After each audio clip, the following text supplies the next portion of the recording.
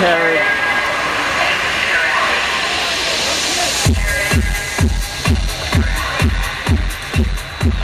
This will focus. Five, two,